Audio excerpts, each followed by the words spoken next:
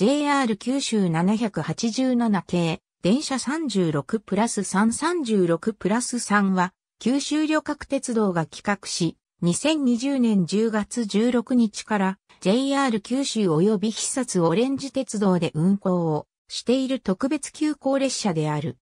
2017年3月登場の川瀬宮山瀬目以来3年半ぶりとなる JR 九州の D&S 列車第12弾として登場した列車で2019年11月21日に概要が発表された。コンセプトは九州のすべてがギュッと詰まった走る九州と言える列車。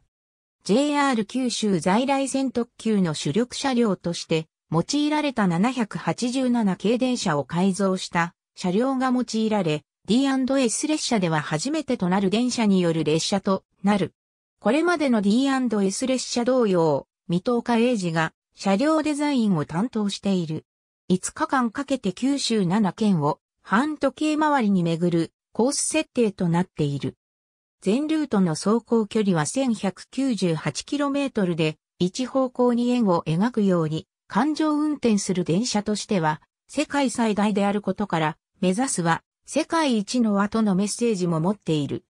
同様に、九州全体を巡る列車として、団体専用列車の7つ星イン九州があるが、D&S 列車として運行されることもあり、昼食付きの旅行商品としての販売のほか、一部の座席は緑の窓口などでの乗車のみの一般販売が行われる。また、昼間は列車で楽しみ、夜は大いに地元で盛り上がってもらいたいという願いから、日中時間帯のみの運行とし、夜行列車としての走行を予定しないことから、寝台などの宿泊設備は設けられない。自らが特急用車両として初めてデザインを手掛けた787系電車を用いた新たな D&S 列車の構想については2018年頃から未踏化の頭の中にあったが、最初の未踏化によるプレゼンテーションは列車のコンセプトが固まっていないとの理由で JR 九州の青柳俊彦社長により一旦は却下されたという。JR 九州の車両デザインが却下されたことに対し、水戸岡本人が七つ星委員、九州や新幹線800系電車よりも難しかった。どうしたらいいか、わからなかったと、暗中模索する中、九州のエピソードをぎゅっと詰め込んで、毎日違うおもてなしにより、世界に九州をアピールするオンリーワンの車両というコンセプトの方向性が定まり、改めて車両デザインを固め直し、実現に至ったという。36プラス3の36は、九州が世界で36番目に大きい島ということを示すとともに、5日間の工程で沿線の35のエピソードを紹介することで、利用者自身で36番目のエピソードを語って欲しいとの願いを込めたという。また、3は乗客、地域住民、JR 九州を表すとともに、驚き、感動、幸せの意味を込め、36プラス3イコール39で、感謝イコール39の輪を広げたいとしている。プラスが、ひらがな書きなのは、JR 九州会長の唐池常次のアイデアだという。毎週木曜日に、博多駅を出発し、コース全体を5日に分けた下記のルートが設定される。1日単位の利用も可能で、料金は昼食付きで1日1万円2万円を想定している。乗降可能駅は全体で10駅に限定され、この他に車外に出られる特別停車駅が9駅設定される。特別停車駅は沿線の特産品販売を行う駅のほか、風光明媚な駅や停車本数が極端に少ない秘境駅といった特徴的な駅が選ばれている。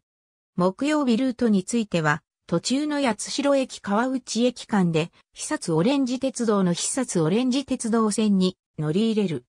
同線は貨物列車運行のために電化設備は残されているものの、旅客列車はすべて機動車化されており、電車が乗り入れるのは異例である。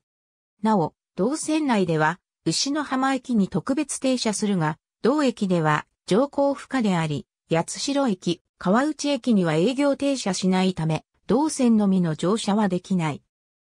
なお、走行ルートである必殺オレンジ鉄道は、令和2年7月豪雨により土砂流入及び同床流出が発生し、2020年7月23日時点で8台、水俣間が運休となっていたため、復旧時期が未定な同区間に関しては、赤の道、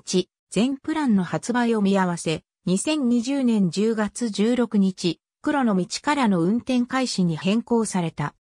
その後、久津オレンジ鉄道が2020年11月1日より全線での運行を再開したことから、2020年11月19日より赤の道、全プランの運行を開始することが決定した。また車内では車窓に合わせて九州をより深く楽しむエピソードが紹介される。個室車両については食事がセットになった旅行商品、ランチプランとしてのみ発売される。4人用個室は3名以上、6人用個室は4名以上での利用となり、2人用個室については追加料金を支払うことで1名利用が可能である。座席車両については、前述した旅行商品の他に、グリーン席プランとして、通常の切符としての発売もされる。運賃、特急料金は他の列車と同額だが、グリーン料金は 150km まで3300円、200km まで4300円、201km 以上は5300円という当列車専用の料金設定がなされている。列車番号は8101から 8111M、8119M、8120M。木曜日、赤の道金曜日、黒の道土曜日、緑の道日曜日、青の道月曜日、金の道なお、このルートで運行した場合、日曜日の青の道の文字港駅で方向転換することになるため、それ以降の青の道、翌日の金の道では編成の進行方向が逆転する。翌木曜日の赤の道以降も方向を踏襲するため、サイト上では列車の進行方向は運行の都度変わります。また、日曜日ルートにおいては、文字港駅発車時に進行方向が変わります。と、案内されている。太字は乗車、下車可能駅、それ以外の駅は特別停車駅。また、以下の駅以外にも運転停車する駅もある。専用車両として 787kbm-15 編成が改造された。改造は小倉総合車両センターで実施されており、作業途中の模様が2020年1月29日と、完成後の模様が2020年9月29日に、それぞれ報道陣に公開された。外観は元の塗装を剥がした上で再塗装され、ブラックメタリックで深みを出している。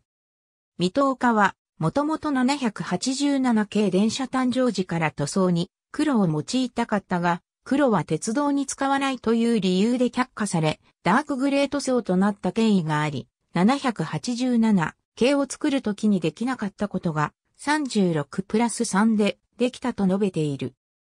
座席はすべてグリーン席で合計103席が設定される。1号車から3号車までは個室、5.6号車は座席タイプの客室となっている。ありがとうございます。